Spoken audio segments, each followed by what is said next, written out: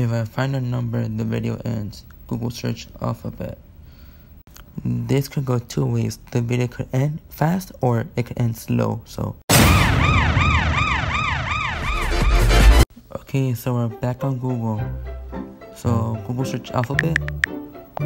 F O. Okay, so I'm gonna put alphabet. There we go. Let's go to images. Alright.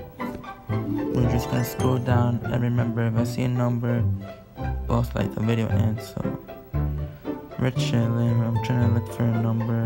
Hopefully I don't. Numbers. No, I'm just kidding. That's not a number. It has to be in the picture in order for the video to end. So I can't just end it right now. So it's only if it's in the picture.